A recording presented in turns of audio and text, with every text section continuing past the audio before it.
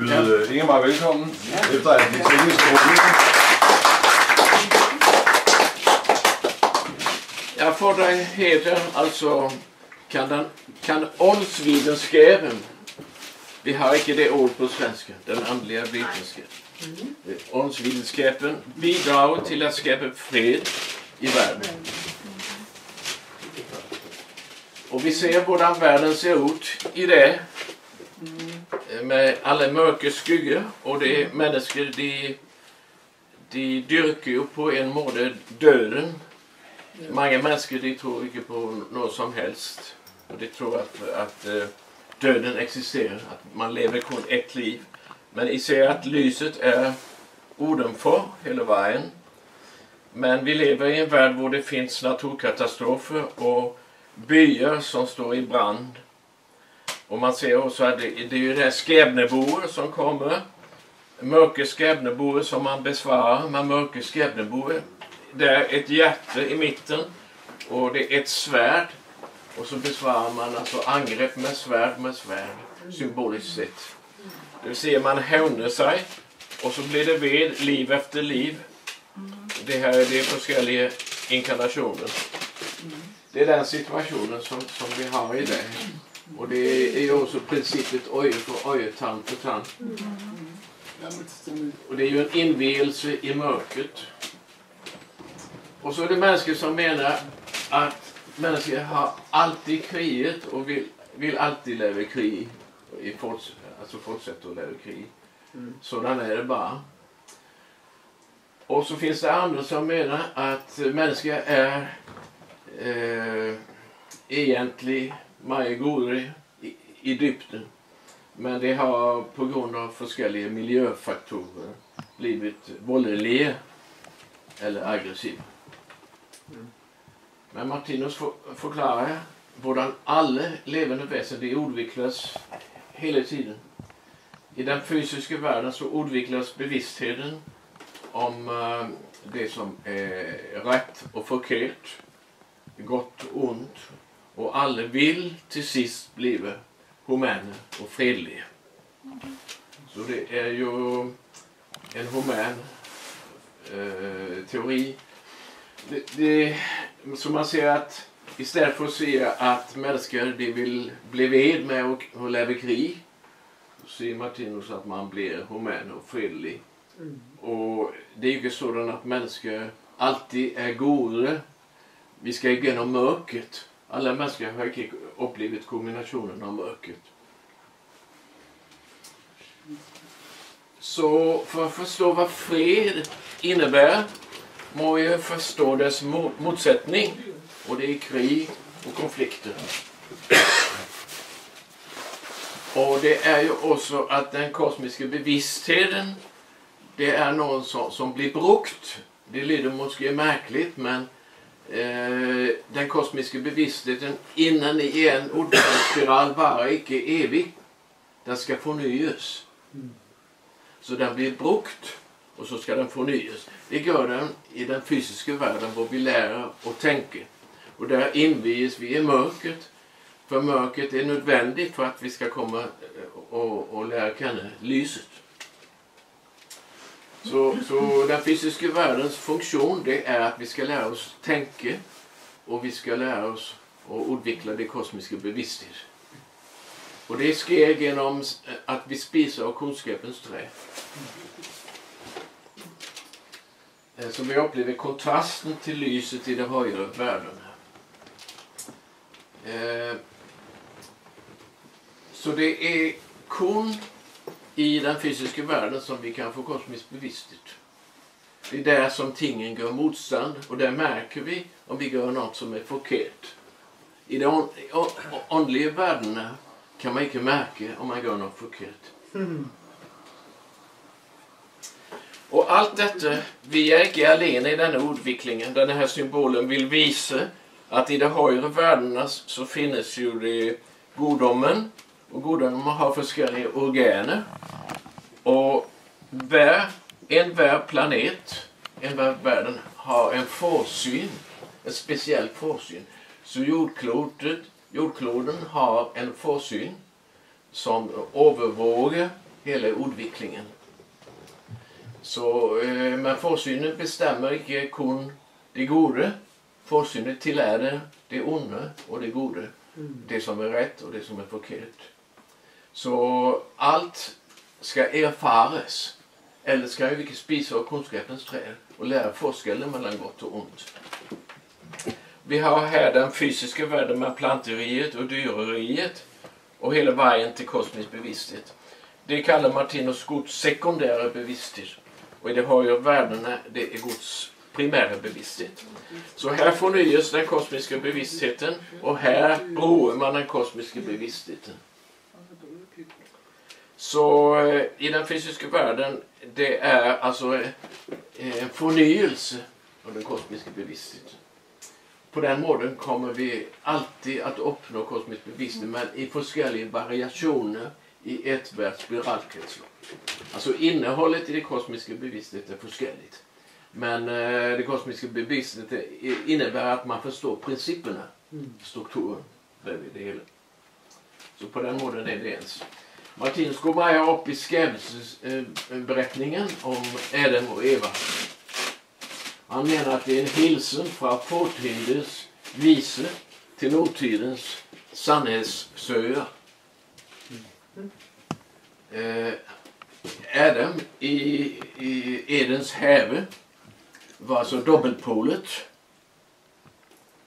Men eh, Evas skräpelse innebär att det levande väsendet blir spaltet i två separata kun.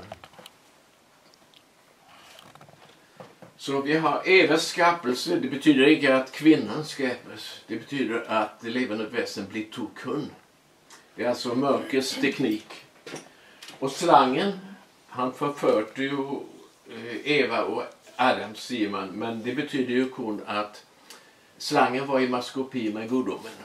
Mm. Så Gud hade, Gud hade advärt människorna, de ska inte spisa av kunskapens träd. För så vill de dö döden. Eh, och så sa slangen, ja, men Gud vet att den där som i spiser av kunskapens träd vill i få deras ögon öppnade och se allt så som Gud själv ser det. Mm. Och bägge hade rätt. Mm. För att få sina ögon öppnade ska man först dö döden. Vi ser det är där vi befinner oss i det, vad man tror att man lever kun ett liv och man tror att det är logiskt och händelser. Så, eh, men man kan inte spisa av kunskapens trä samtidigt som man spisar av livets trä. Så därför blir det förskott väck från Edens have. Eh, och så var det det här flammande keruber som voktade, alltså terskelens voktare som såg till att de inte kunde spisa av livets trä, att de kunde få kosmisk bevissthet samtidigt som de spisade av kunskapens trä. Eh, det står också något intressant i Bibeln, nämligen det att de fick torg av, av, av läder. Av skin, läder, alltså dyreskin. Mm. Mm. Det blev dyr, simpelthen. Martins förklarar ju att eh, den dubbelpolade Adam var en plante i verkligheten, i det kosmiska kretsloppet. Och man upplever ju det som en förbannelse. Men det, det var inte någon förbannelse, men det var ju det att vi är nött till att göra alla de erfarenheter så att vi kan eh, lära oss att tänka.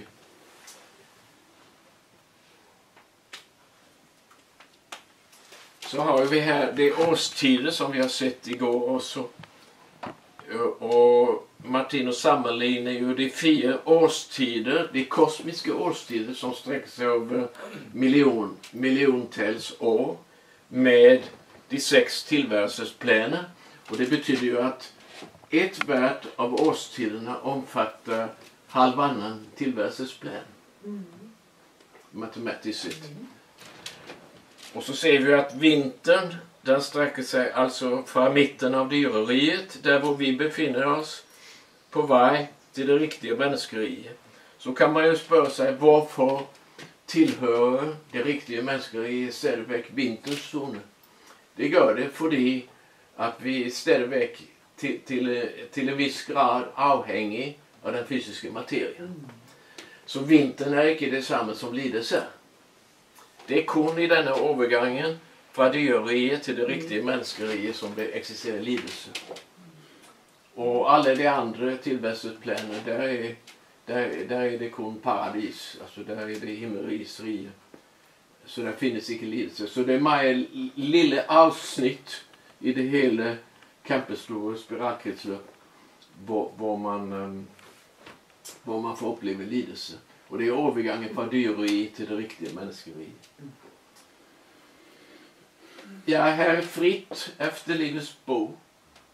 Uh, i, i, i, den första bin, allerede i styck uh, och 12, så skriver han att i hvert spiralkretslöp kommer alla världens altes ledande kosmiska realiteter eller principer till um, ja, vad heter det på dansk? Alltså jämbördig manifestation. Alltså, eh, mm all, alla når sin kulmination.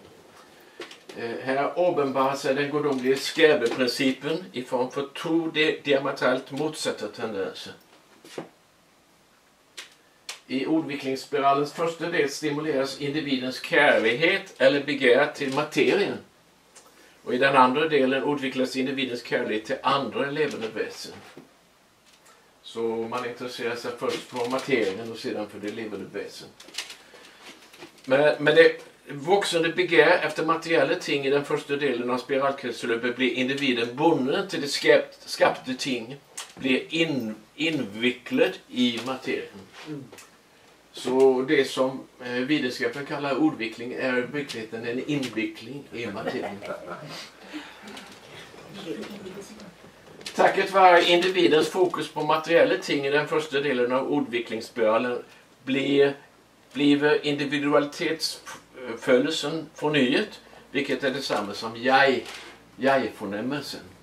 Alltså man blir visst bevisst om sin egen existens. Därigenom kulminerar födelsen av ens eget jag adskillelse från andra levande väsen. Och det är det som är individualiteten. Alltså i den fysiska världen så utvecklas individualiteten. Jag existerar och jag växelvirkar med omgivelsen.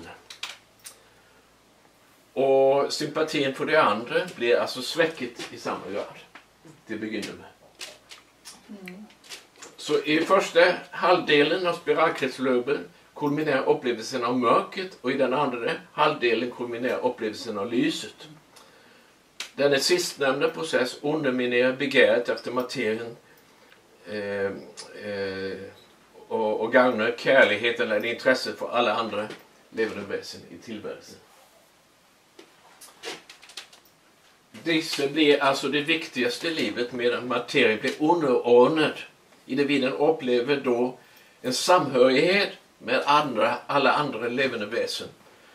När detta kulminerar upplever man sig som ett med färre. Eh, I den fysiska världen kan jag att det är kampen för tillvärelsen och det är det starkes rätt, självuppehållelsesdriften. Allt tillsammans utvecklar individualitetsfödelsen och eh, man kan säga att flockbevisstheten som förekommer som är mer utbredd det är en rest från den tidigare samvaron med, med Gud och medvetandena i de högre världarna.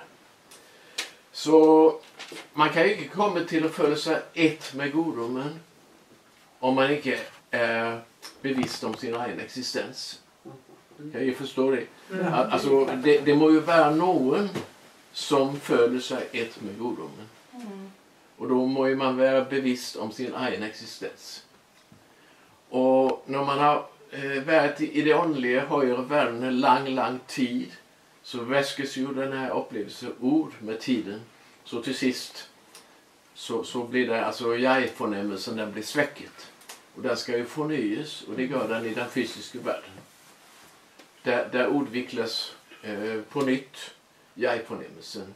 Och det gör den genom egoismen. Egoismen utvecklar jag-förnämmelsen och jag-förnämmelsen går det möjligt i de högre värdena att följa sig som ett med Gud. Mm. Med kärlighet. Så individualitetsfølelsen den erstatter gradvis det gamle flokkinstinktet, og vesenet blir gjenforenet med god og medvesenet. For flokkbevisstheten det gjør rest fra den tidligere spiralen. Så det skal ikke på den måten. Det är ju därför man ser det här träckfoler och, och de flyver samman och så vidare. Det är en rest från de högre värdena både en gång var ett med Gud. Mm. Så spisandet av kunskapens frukt det är detsamma som bevissthetens utveckling. Man ska alltså invigas i mörkret för att invigas i lyset.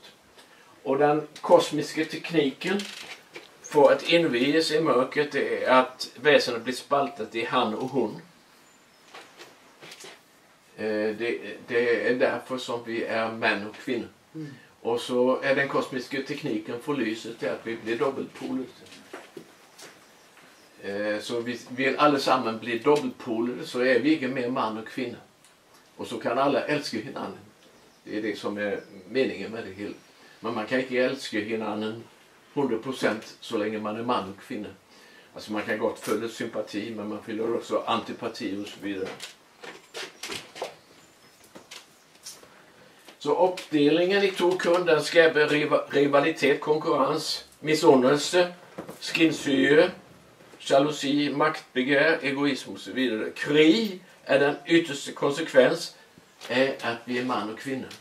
Någon gång så har Martinus i några sagt att atombomben det är den yttersta konsekvens att vi är han och hon. Mm. Ja. Men dubbelpolariteten skapades freden. Alla fientliga motsatser försvinner så att vi kan älska hinanden betingelselöst. Jag ska visa några bilder här. Här har vi den gamla sympatin mellan han och hon. Och det kan ju vara romantiskt, det kan vara dejligt men eh, i grunden är ju det inte det som är den fullkomna kärlighet som vi är på väg till. Men eh, det ska ju inte vara kede. Eh, vi har lov till att uppleva det så länge vi har lust men det utvecklas alltså något helt annat. Kristus kärlighet var alltså inte han och hon kärlighet. Man ser också här i naturen att det är rivalitet. Det är det här manliga dyr, eh, handdyr. De kämpar, de hinanden för det. De ska få tillgång till hornväsendet. Ja, och det, det är ju en form för krig. Alltså det är krigets eh, arnested, ville Martinus säga. Här ser vi också på de gamla rånestenar. Det är intressant för det, det drar sig ju om om krig. Och man, man betraktar det krig som en ära. Alltså som hedersting. Så, så det är också intressant att se att många av namnen i de skandinaviska länder, länder i vart fall handlar om att man är krigshjälte eller att man är duktig på att kriga och dräpa. Och, och jag har själv ett sånt här vikingnamn, Ingemar, så det betyder ju, alltså det, det är goden Ing som så, så det är intressant att, att checka på alla de namn som vi har om de, de stammar för det här krigiska idealet. Ja, här har vi en soldat. Jag vet inte om det från, från det första världskriget eller vad det är. Men många eh, tidigare har ju man upplevt det som en ära, som man ser upp till det, det, här soldater eller det här officerare och, och syns att de är hjäl, hjältar. Och jag visar konen en serie bilder det här att eh, man är ju mer stolt över sina vapen och sina krigsmaskiner. Och här ser vi också en kvinna så det är ju inte kun män som lever krig. Eh, det är klart att det är män som har levt krig mest men så kommer ju kvinnorna. Och så ska ju, bli- det är ju den maskulina polen i kvinnorna som gör att de ska igenom detsamma och uppleva krig. Ja, vi ser ju här flockbevisstheten tydligt manifesterat. Alltså det, det ska ju vara liksom en maskin som, som, eh, som robot närmast. Mm-hmm. Ja, här har vi alla de parader. Och många syns ju att det är dejligt, det är flott att se på och så vidare. Men det, det här är ju icke bundet till någon speciell nation. Det är ju samma överallt i hela världen. Vi har ju i Sverige, i Stockholm, har- man uh, voktparaden och, och, och vokterombyte och så vidare. Og, og der så er det Monty Pythons gakkede gangarter. ja, ja, ja, ja. ja, ja men eh, man kan se i Nordkorea för exempel. Alltså det, det, det är ju verkligen... Men, men vi har ju då överallt. Jag har sett det i USA, jag har sett det i Sverige. Jag har sett. Och så länge man har det så, är- så är ju det... Alltså man må ju tänka sig om, vad, är det för något egentligen? Ja, vi har det så, så, sågar også i Tivoli Garden. Ja, ja, ja. Ja, Altså bare for at komme... ja Jo, jo. bestemt. Men så ser man här, en gång så betraktade man krig som en konst, konstform. Alltså man, man talade om krigskonst. Eh, Så, så, ehm, men sådan betraktar vi inte nu. Jag har också sett någon film i det första världskriget tror jag det var. Det, det kom soldater från, om det var från Australien eller varför det nog kom. Eh, Och de var så glada för att de skulle delta i kriget. Al- Alltså de, de, de upplevde en sån stämning och upphisselse. Men eh, efter så var det inte liv så glädje. Alla var kvästade och lemlästade och låg i det där skyttegraven. Ja. Och man ser ju alla där ödeläggelse. Alltså det är en fruktig ödeläggelse. Och, och alltså ett spill av resurser. Och här blir ju resultatet. Alla de gravar. Och det är ju inte rart att se att det, det kommer till att se ut på den här måten med ruiner och ödeläggelse. Och här firar man freden.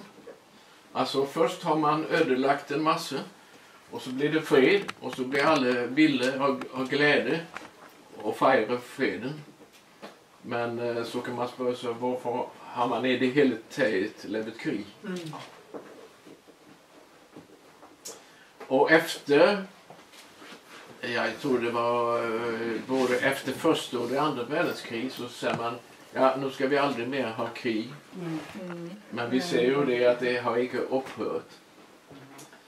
Eh, först bildades ju Nationernas förbund, NF, och sedan blev det FN, Förenta Nationerna. Men så ser man att FN har inte någon riktig makt för det att stormakterna har ju veto, vetorätt. Alltså så, så kan man det ligger rätt mycket man kan göra för det om, om någon av stormakterna protesterar så kan man inte genomdriva eh, nå- några nya tankar. Men så ser vi samtidigt att världen är ju vid att bli global. Vi ser alltså att det, det, det är en handel över hela världen. Alltså man, man importerar och exporterar ting. Men så har vi samtidigt nationalism och protektionism. Alltså att man ska beskydda sitt eget land. Och ja, vi, kan, vi kan ju tänka på för exempel, men det gick ju kunde America först. Så, så ser ju man att, eh, att spörsmålet är, ska man tänka på sig själv och ha protektionism eller ska man pröva att samarbeta med alla länder? Ja, jag har ju snackat om det här med veto, vetorätt i stormakterna. Och vi har ju, alla enkelte nationer bygger upp ett nationellt militärt försvar. Och vi ser ju nu också att, att krig, krigstendenserna de, de växer. Alltså man satsar mer och mer pengar på militärt försvar och vård. Ja, dem der tjener på det. Ja. Eh, och vi ser också problemet att olika kulturer och nationer de har, har olika värderingar. Alltså moraliska värderingar. Vad de synes är det riktiga och viktiga.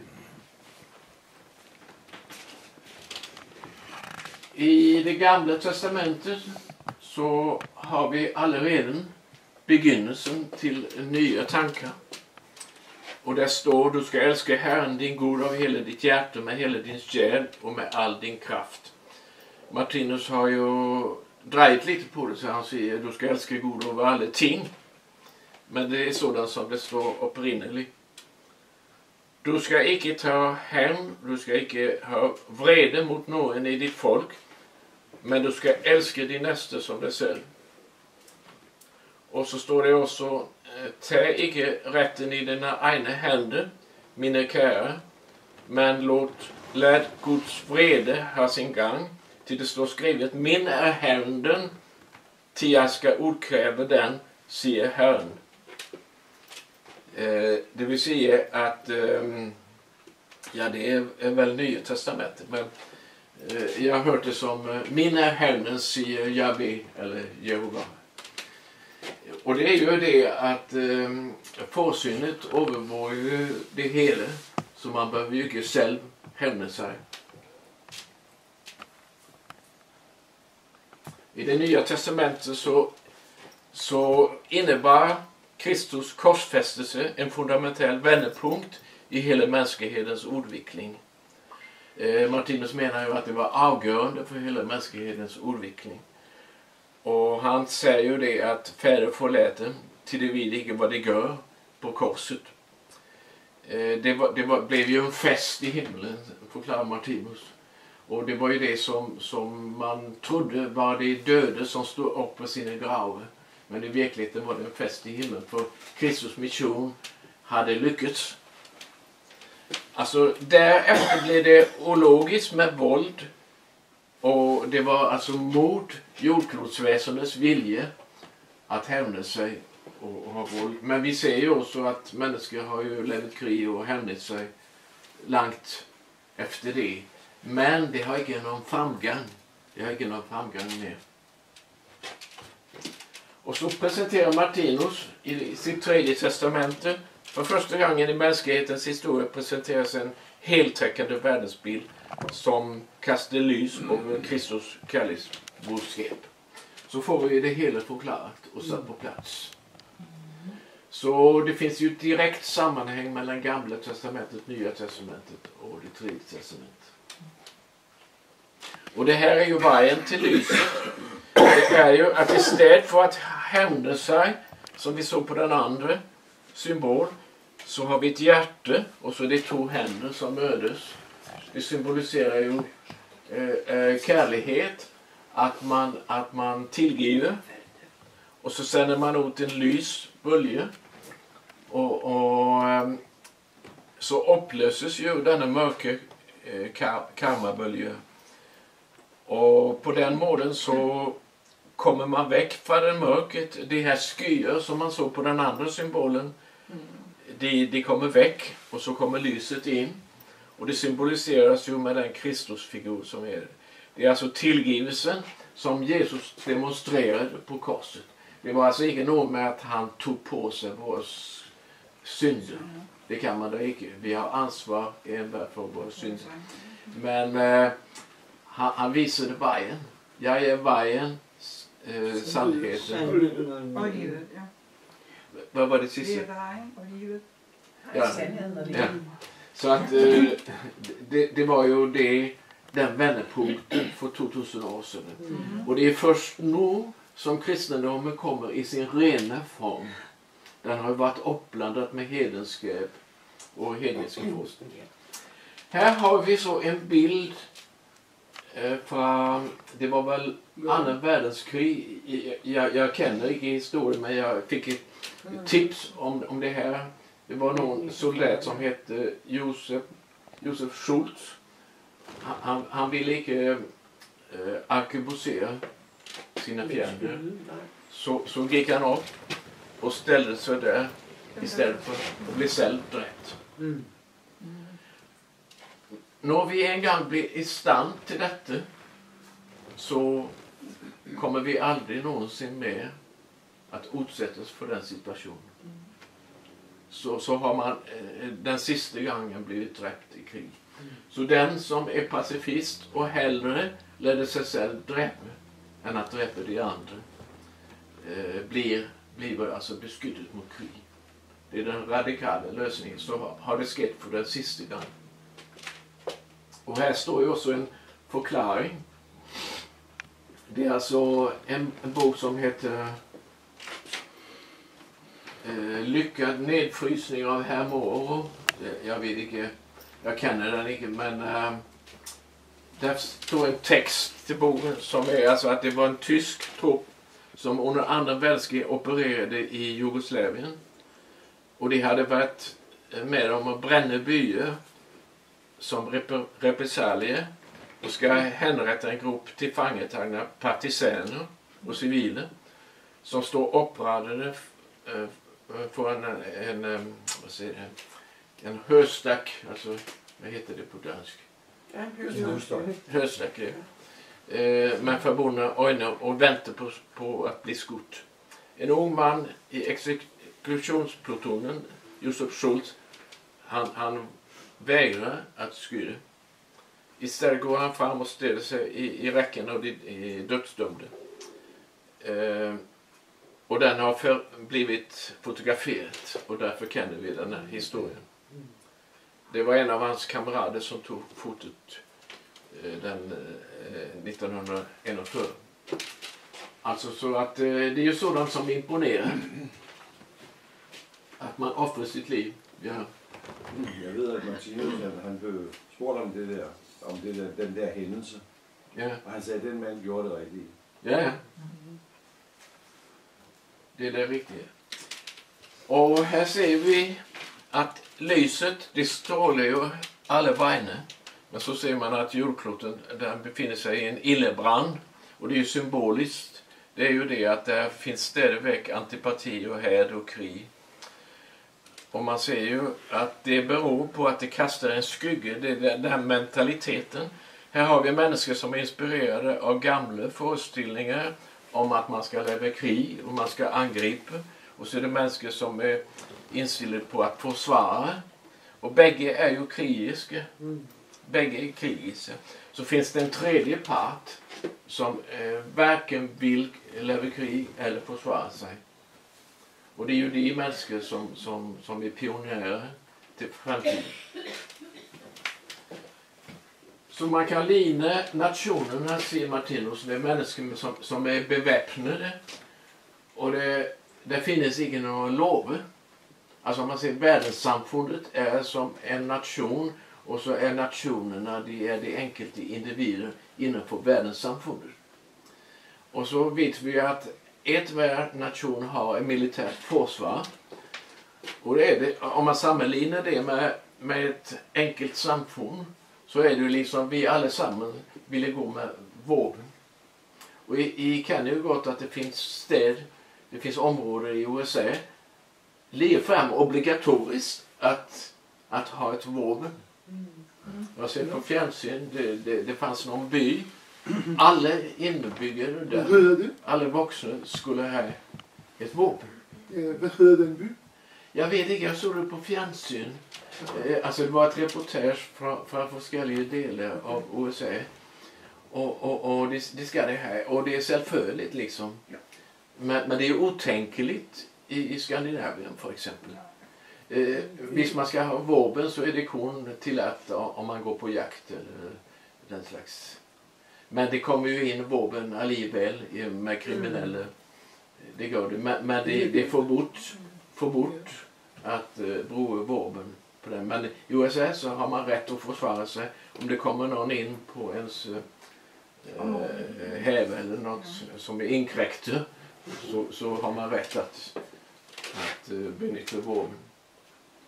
Så Martinus menar ju att världssamfundet befinner sig på stenåldersnivå med hänsyn till det där att vi har nationella militära försvar.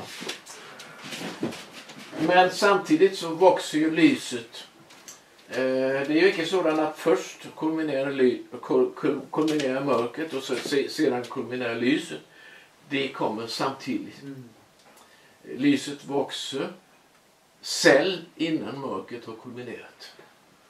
Så det blir en eftersläpningseffekt. Och så har vi det här begrepp som Martinus förklarar som en djävlebevissthet.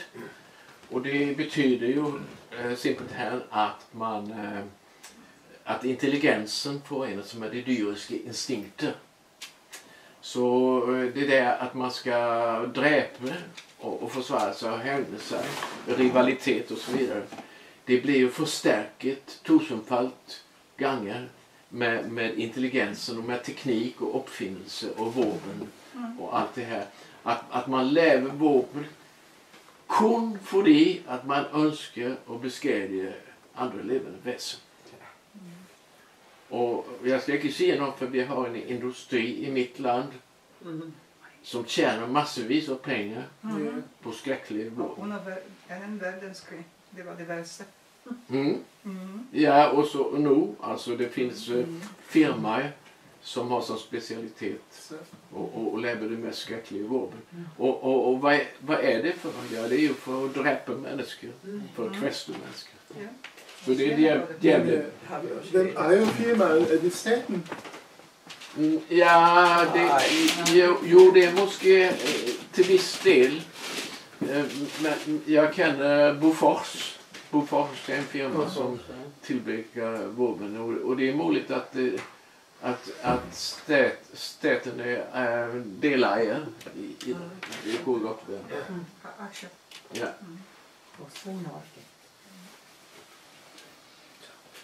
Så vi ser ju här att det är osjälviskheten som ska segra över själviskhet och fällesintressena som ska segra över privatintressena. Vi ska få ett internationellt världsstyre och alla länder ska hosta ner. Man ska inte ha militärt försvar. Men det blir en internationell opartisk världspolitik. Och det ska bli ett eh, åbent och icke hemligt internationellt högste lov och rättsväsen. Eh, ett rättfärdig världssamfund för alla människor på jorden. Det är alltså det man kallar kosmisk demokratisk kommunism. Och man ska ju avskaffa alla, all våldspolitik och blodsutgjutelse. All eh, tortyr, pryl och dödsstraff. Och istället så för, för fängsle och tukthus och, och så blir det alltså förnuftiga internerings och upp, uppdragande. Eh, alltså man behöver opta människor till att eh, tillpassa sig att leva efter loven. Det här är inte någon hypotes, skriver Martinus, det är kennsgärningar. Att vara på böljelängd med dessa energier, det innebär att man är i harmoni med den gudomliga världens plan. Det är den hurtigaste väg att uppnå den stora födsel eller en förklarad tillvärelse. Men om man är mot motståndare till den nämnda punkten betyder det att man är i disharmoni med världens energierna och att man är en hindring för att bli befriad från krigens och lidelsernas mörka område. Det som gäll- gäller, det är ju det stora bordet älskehinnanen. Och eh, vi upplever nog alltså omskapelsen av den jordiska människans tåraktiga tillstånd till en sollys tillvärelse. Dyreriets dödskamp i den jordiska mänsklighetens samfundskropp. Och det begynner på den kosmiska människeriets uppståndelse på jorden. Över disse li uppstår världen i en ny och förklarad sk- eh, skickelse och jorden förvandlas till en vibration av förnuft och kärlighet, en harmoni mellan intuition och sällighet. Och här ser vi så hur det ser ut i det, att vi har de enkelte nationer som har olika ideella och, och värderingar. Eh, de är influerade av olika värderingar. Men så ser vi att, att några har idealer som är lite på väg mot det lysare. Så, så man ser att det är stor forskel mellan länderna i världen. Man ser för exempel länder som Afghanistan och andra länder som är maj, maj krigiska och primitiva. Eh, det är ju inte säkert att de enkelte människorna är lika så krigiska men det, är de som har makten. Man ser att det finns många diktatorer i världen. Och så ser man också att det kommer ju karman och skäbnen så att Nole blir dräpt ögonblicklig. och Nole blir alltså lemlästade och kvästade och får alltså problem resten av livet, visst de överlever. Och så finns det ju områden på jorden var, var det är mer fredligt, var det är bäst att bo. Och där är också spirene till den nya världens kultur och den nya tankar och humanismen. Så spörsmålet är om den kan bidra till att skapa fred i världen. Så kan man ju se att Martinus världsbild blir till hjälp när människorna har levt tillräckligt med lidelseerfarenheter så blir man mottaglig. Och krigen skräper pacifister. Det är alltså pacifisterna som har kriget mest i fortiden. Och de som lever krig nu, det är ju det som är framtidens pacifister. Och vi har ju, Martinus säger att eh, vi har den gråa karma och så har vi så har vi den lätta karma, eller småkarma som man säger. Eh, när man är pacifist och vegetarier och är det av hjärtat för man vill inte dräpa andra levande väsen så är resten småkarma. Mm. Och det kan vara hårt nog. Och det är ju på det psykologiska plan och i polförvandlingen och allt det som kan, kan bli problem. Men det är inte, det är inte det här blodfylld med, med eh, att bli dräpt och, och torturerad och lemlästad. Och vi kan ju tänka på Tolstoj som, som eh, verkar ha varit en mer humant människa som, som menade att eh, så länge det finns slakthus i världen så finns det krig också. Eh, han har sagt det i något sammanhang.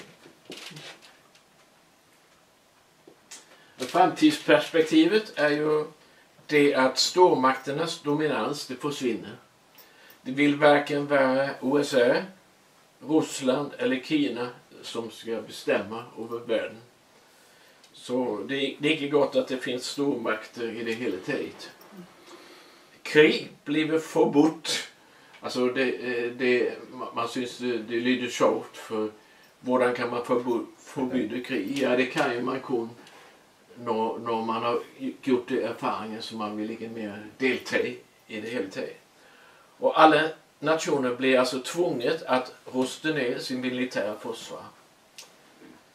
Eh, och tidsperspektivet är ju det att Martinsson nämnt att om, om trent 500 år så finns det Maj Kristuspolitik i världen. Några Martinus-intresserade informatörer de, de menar att så finns ju det är allerede en, en, en världsstyre, alltså en form för regering. Jag får tolka det inte på den måten för mm. det, det, vill ju vara 3000 år innan allt är färdigt. Mm. Och så kan ju det inte komma någon, någon internationell världsregering redan efter 500 år. Men det blir ju kristisk politik.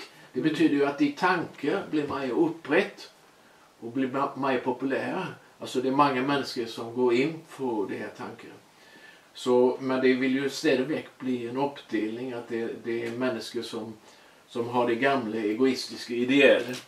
Så, så, så, det är ju en stor process som vi ska genomgå. Men eh, eh det blir ju närmare i vissa delar av världen. Det är ju inte sådant att hela världen eh, går under i krig. Det är ju delar av världen där det är mer fredligt. Så allaredan de närmaste århundraden så blir det mer, mer dejligt, mer, mer behärligt att leva. Men det, det var alltså 3000 år innan samtliga människor i världen har nått fram till det kosmiska bevisstheten. Så har vi ju det riktiga människor på jorden. Men eh, vi behöver inte vänta på det andra. De människor som alla redan nu är mottagliga för det här tankar och, och, och är humana och kärlek, de kommer ju långt för 3000 år. Mm. Det behöver inte vara 3000 år för dem som alla redan nu följer kärlighet. Och här har vi så bilden på hvor alle nationer är förenat i världssamfund. Eh, och det blir en fälles världsstyre. Och där är inte någon med veto eller att någon protesterar. Alla är eniga. Och till sist vill ju det bli kosmiskt bevisste som, som, som finns i denna världens regering. Det är alltså de väljes de människor som är mest ordviklade, Som är mest humana. I det är det de som vill göra mest karriär. Och, och som, som, som är starka. Som gärna vill komma fram. Men i framtiden blir det kom, det humana som Altså det er bare noget, jeg tænker på, fordi at, at jeg har set det der før. Og så, tænk, så sad jeg og tænkte på nu, jamen der har vi jo alle sammen, øh, har vi kosmisk bevidsthed, ikke? Ja. Det vil sige, Ja. ja. så kan man jo altså godt samarbejde med den åndelige Ja, ja. verden. Ja. Og så er det overhovedet fysisk, den der, øh, øh, den der øh, regering. Ja. Eller er det en øh, Ja, og- det, till begynner med så är, det, Det vill- det jag med riktigt- fysiskt manifesterat. Ja, det, är det. Men, men, men alltså, det är ju så att vi, vi vill ju inte alla uppnå kosmiskt bevis samtidigt. Så, så det är några som, som får det först. Och så eh, efter så blir det ju fler och fler. Jamen, det der symboler, det er ikke, når vi alle sammen er kosmisk bevidst. Nej, det är inte nödvändigtvis Nej, det inte begynner med. Alltså man väljer ju det som, som, som är tätt inpå kosmiskt bevissthet. Eh, så Eh, innan tusen år eller något till så blir ju det blir mer behagligare. Så, så, så vi ska inte behöva vänta 3000 år. Men så finns ju det några eh, människor där som inte kan, kan eh, nå och få kosmisk bevisning. Så, så de, de flesta ska nog utvecklas och uppnå kosmisk bevisning här på jorden. Men så är det några enkelte som inte kan klara det. Som behöver mer tid. Alla ska uppnå kosmisk men de, de, de behöver mer tid. Och där nämnde han Martinus för exempel. Det är ju inte aktuellt nog men det var i Uganda, det var Idi Amin. Nämnde han som ett exempel på eh, människor som, som behöver mer tid som blir flyttade till andra planeter.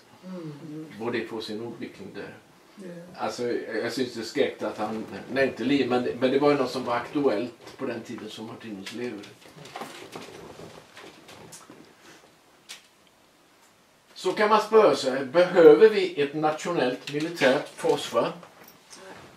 Är det riktigt att man prövar att sloka en illebrand med bensin?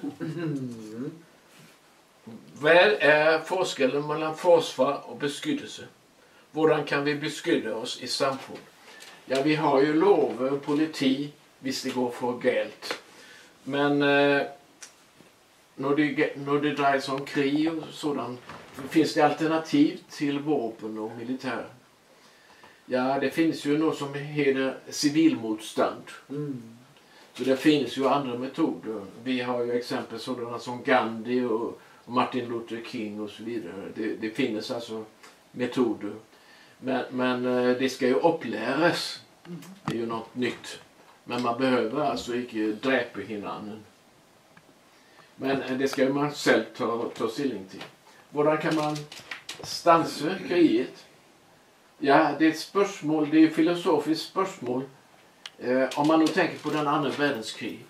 Vad ville ha skett om inte de allierade eh, gick in och, och, och eh, vad ska, vad ska säga, hämmade Tyskland eller eh, gjorde så att, eh, att nazismen eh, stansade. Vad ville ha skett om inte de allierade gick samman? Och det, det spörsmålet har jag fått, men, men svaret är ju, och det är ju filosofiskt, det är det att visst icke ville ha värld på sådan på den målen att också de allierade var krigares instillade så ville det inte ha funnits någon Hitler och nazism. Visst det ena finns så finns också det andra. Alltså det, det är ju två sidor. Men eh, visst den ena sidan är fredlig så kan, så kan det inte bli krig. Alltså det, det, det ska, det bägge parter må ju ha detsamma i sig. Så eh, pacifismen är ju eh, den verkliga lösningen. Eh, det är inte vapentillstånd som, är målet. Men det är verklig fred både det blir omöjligt att starta krig. Och alla lösning som mycket är baserad på medmänsklig jämlikhet och den starkes säger över den svagare part vill, vill resultera i, i miss, missförnöjelse, frustration och i värsta tillfälle häd och önskan att, hämna sig.